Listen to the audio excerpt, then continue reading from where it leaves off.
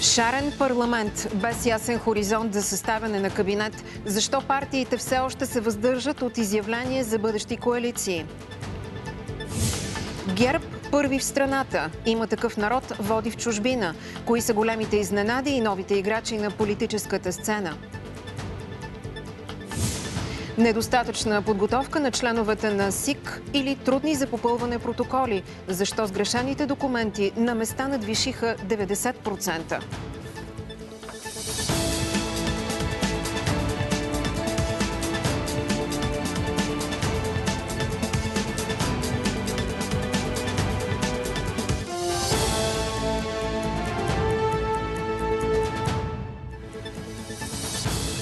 Здравейте с новините в 18. С вота от 4 април българският избирател пренареди политическата карта на страната. Според паралелното преброяване, ГЕРБ остава първа политическа сила. Но след това нито една партия не запазва сегашната си позиция. Трудните протоколи и слабата подготовка на част от членовете на секционните комисии доведоха до голям брой сгрешени протоколи и бавно предаване на изборните книжа. Битката машини срещу хартия завърши с паритет, защото заради проблеми с машините за гласуване на места да гласува с хартиени бюлетини беше избор за мнозина. Активността, която според наблюдатели се очакваше да е ниска, на моменти изпреварваше очакването, но към 17 часа на изборния ден беше 40%. Над 650 хиляди избиратели избраха ГЕРБ и така до сегашната първа сила запазва първото място, макар и с по-слаб резултат от вота през 2017 година. Според паралелното преброяване, резултатът на ГЕРБ е 26,07%. Вътрешните противоречия в левицата станаха причина БСП да отстъпи второто място на новата има такъв народ – Формацията на Слави Трифонов събра 17,96% от вота на избирателите, докато БСП постигна най-слабия си резултат с 15,02%. Демократична България, която обедини партии, които на предишни избори се явяваха по-отделно, сега събраха 9,54 на 100 от гласовете на избирателите – ДПС също отстъпва от резултата. Процентите според паралелното преброяване са 9,98 на 100. Изправи се, мутри вън, влиза в парламента с 4,81% от гласовете. На ръба от 4 бариера с 3,59 на 100 се намира ВМРО. И преди да са преброяни всички гласове, е невъзможно да се изясни дали воеводите влизат в парламента.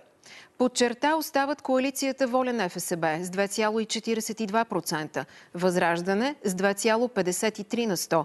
Изненада за наблюдателите са гласовете на БНО 3% 0,1 на 100. Да погледнем как е от цвета на картата на страната. В България има 31 многомандатни района. В 24 от тях коалицията ГЕРБ-СДС е първа политическа сила. ДПС печели изборите в три района. Това са Кърджели, Разград и Търговище. Демократична България събира най-много гласове в 23 и 24 район в София. В Русе има такъв народ печели най-много гласове. БСП е лидер в Ямбол. В 23-ти многомандатен район в София Демократична България събира най-много гласове. Коалицията ГЕРБ, СДС са на второ място, а има такъв народ на трето. Така на практика Атанас Атанасов надвива лидера на СДС Румен Христов и Андрей Чурбанов. Ситуацията в 24-ти мир е същата. Листата на Демократична България, начало с Владислав Панев, побеждава коалицията ГЕРБ-СДС, водена от бившия транспортен министр Росен Желясков. Мика Зайкова и има такъв народ остават трети. Бойко Борисов и водената от него листа на ГЕРБ и СДС събира най-много гласове в 25-ти Мир София. Филип Станев и има такъв народ е втори, а Христо Иванов от Демократична България остава трети.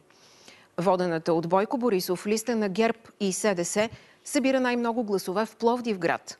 Тошко Хаджи Тодоров и има такъв народ остават втори. Листата на БСП начало с Корнелия Нинова е трета. ГЕРБ СДС, водени от екс-здравния министр Костадин Ангелов, печелят вота във Варна. Има такъв народ начало с Станислав Трифонов, остават втори, а трети са БСП начало с Борислав Гоцанов.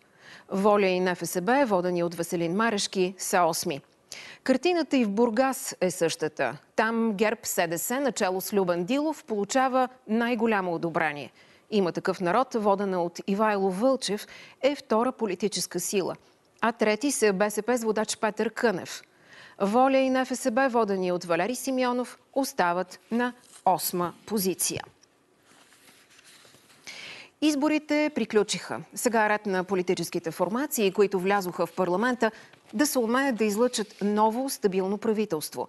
Някои от тях още с нощи обявиха с кого могат да си партнират, други още изчакват окончателните резултати от вод.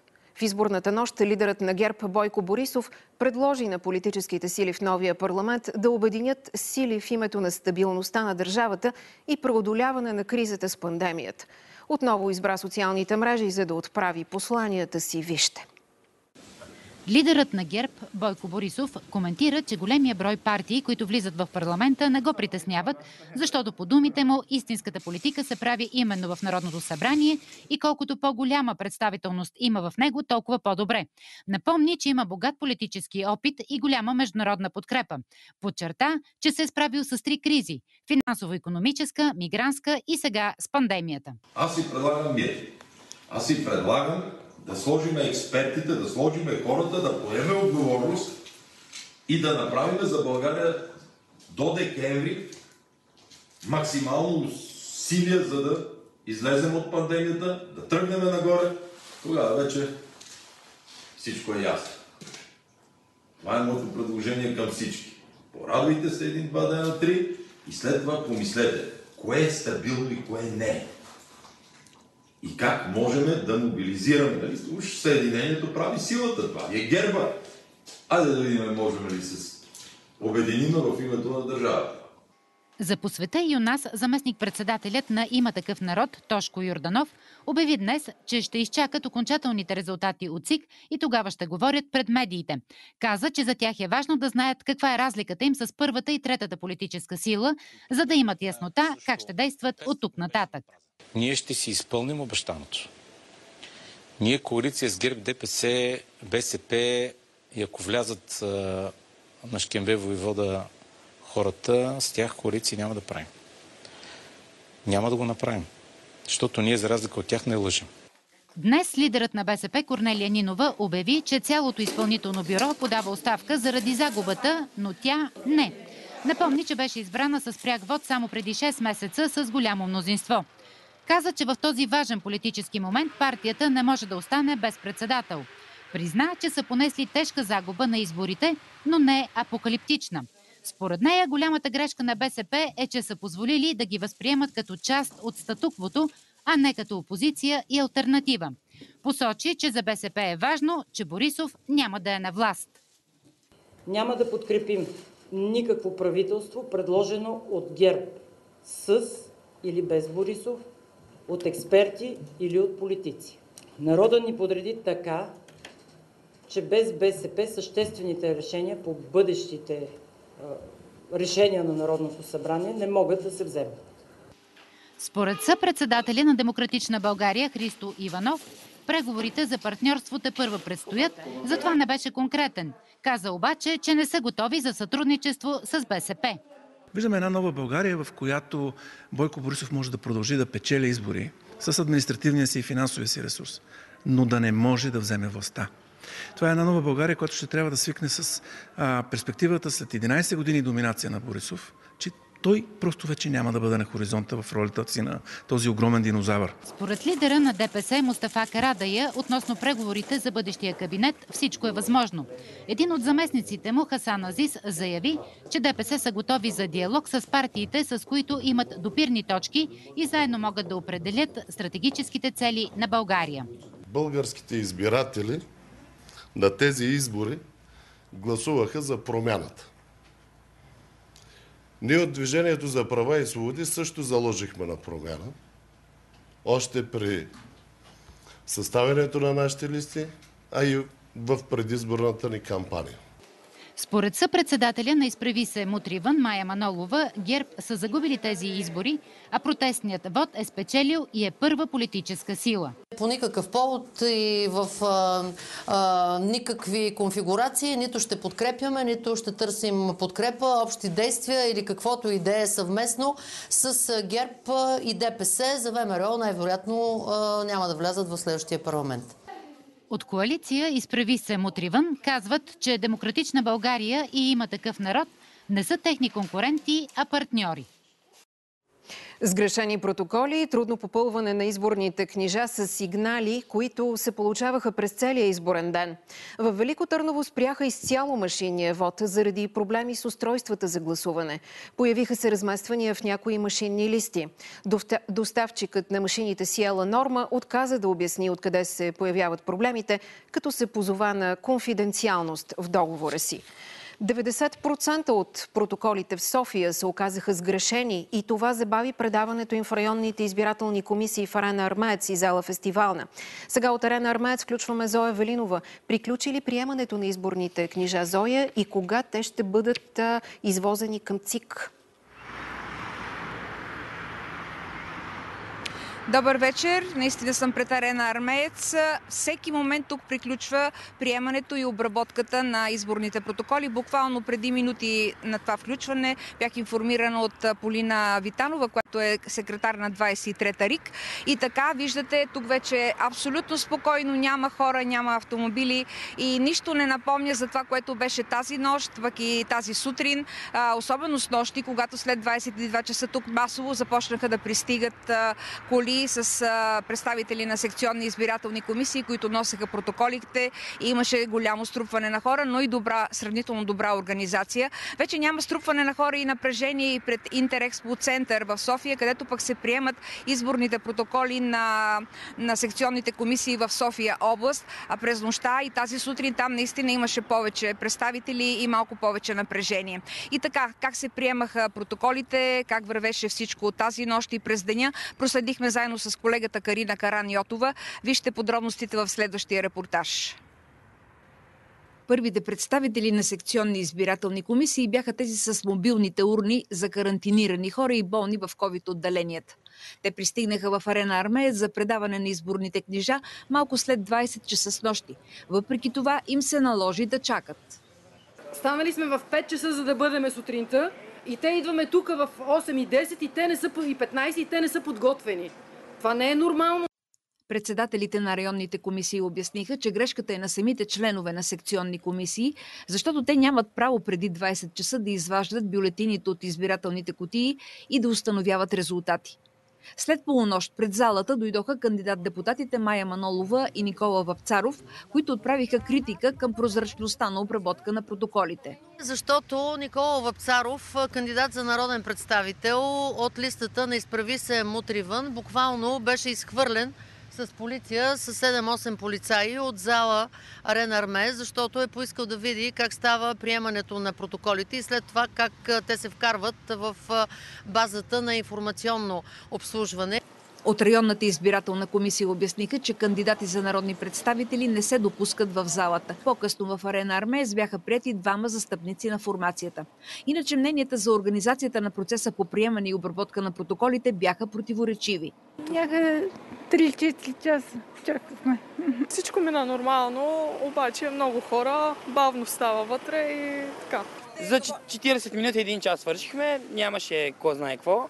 Организирана е вътре работата, всичко беше наред. Противоепидемичните мерки не винаги се спазваха. Опитваме се, просто самия обход и контрол е много труден на такава площ. В Интерекспо център в столицата, където се обработваха протоколите от Софийска област, също имаше проблеми с дистанцията и голямо струпване на хора.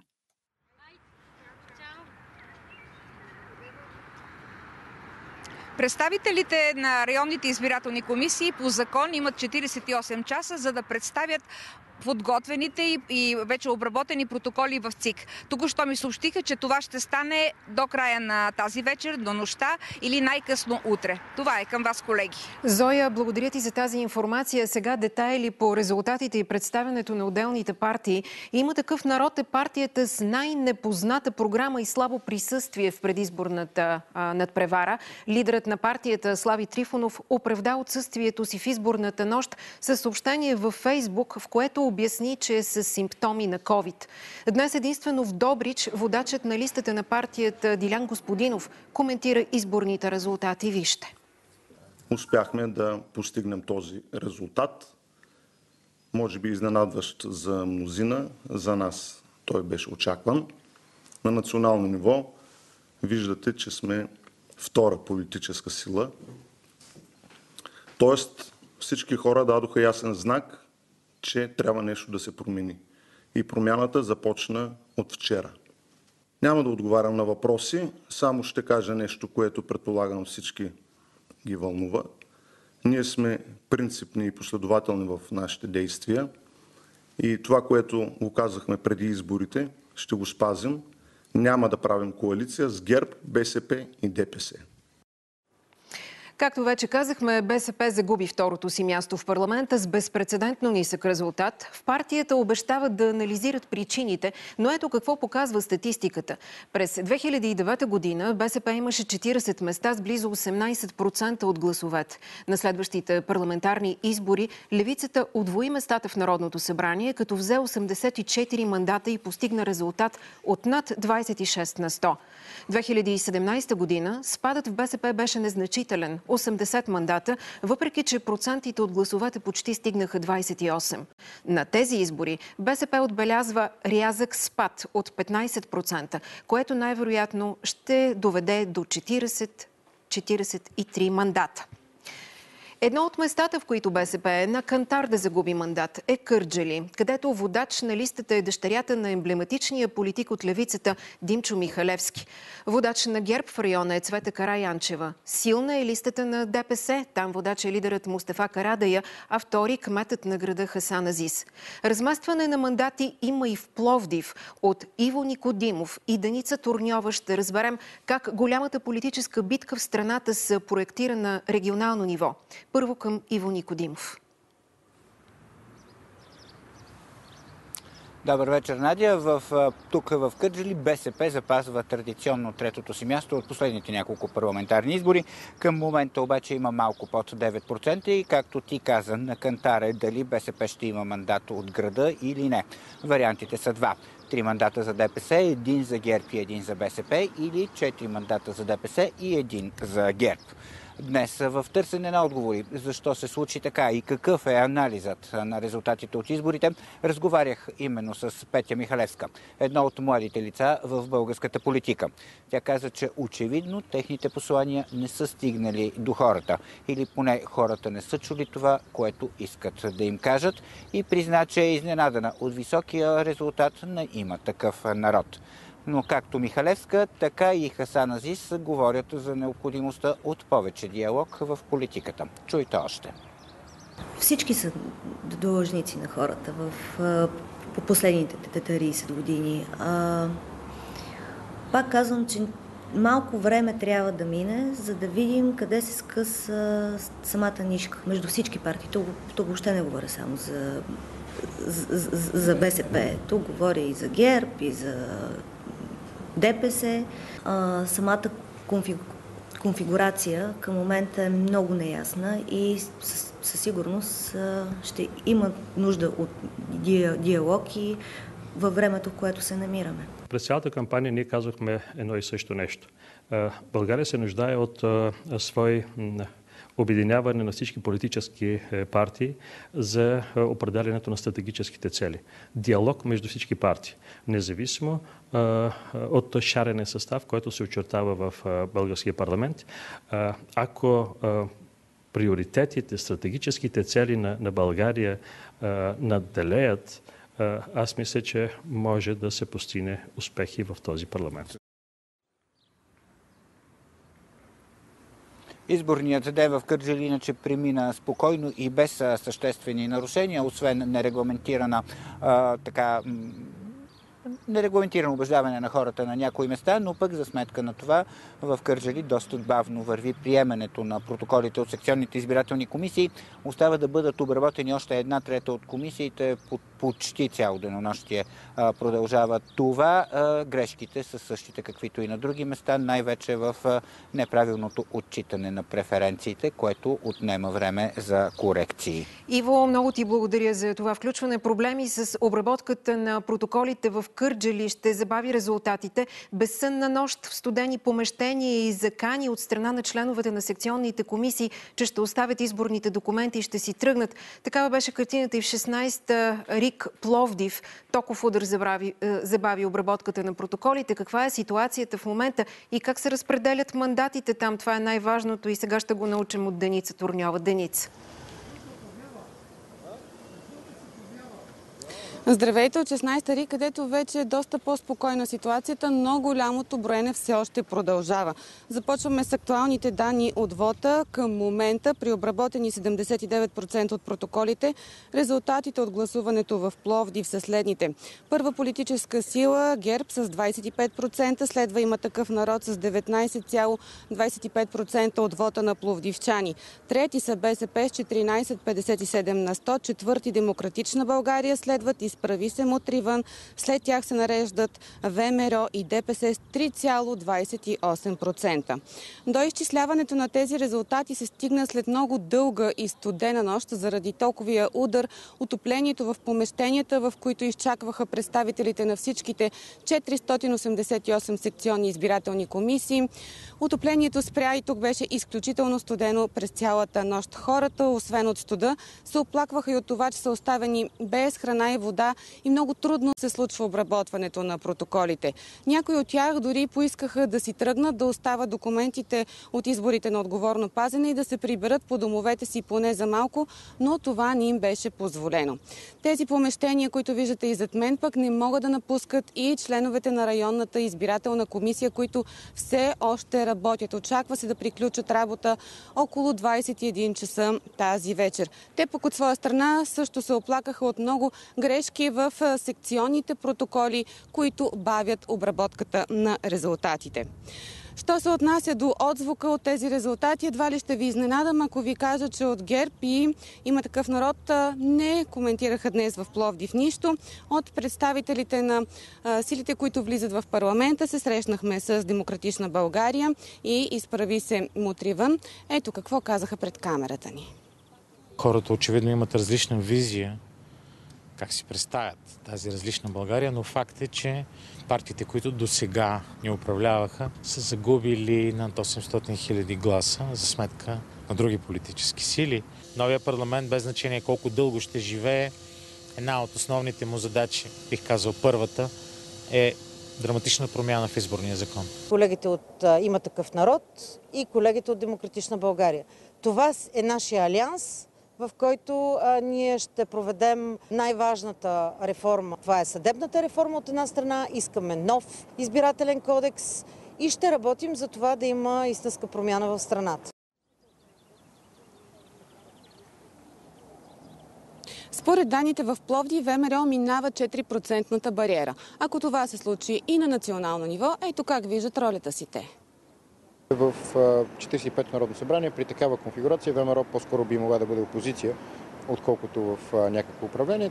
На тези избори мога да кажа, че спечели вота срещу, а не вота за. Много се надявам все пак тези формации, които влязоха в събранието, да намерят сили помежду си, след като бъде отстранен мотива за вота срещу, както всички заявиха вече. Нека да видим дали ще успеят да се обединят. 17-та РИК Пловдив област изненадата е пренареждане в листата на ГЕРБ заради преференции. Четвъртия Младен Шишков се очаква да стане втори. Деница, благодаря ти за информацията. Сега поглед извън България. Преброени са всички гласова на българите зад граница. Категорична е победата на партията на Слави Трифонов. 30% от гласувалите извън страната българи са дали вота си за има такъв народ. Демократична България е втора най-често избирана партия от сънародниците ни в чужбина. ДПС се нарежда на трето място с двойно повече гласове от тези дадени за коалицията ГЕРБ-СДС която остава четвърта във вота извън страната. Високи са процентите за възраждане, по-малък процент има БСП.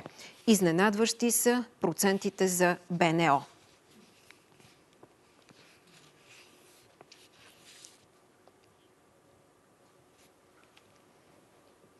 Кога ще бъдат готови окончателно резултатите? Въпросът ми сега е към Марина Матева, която се намира в Централната избирателна комисия. Марина.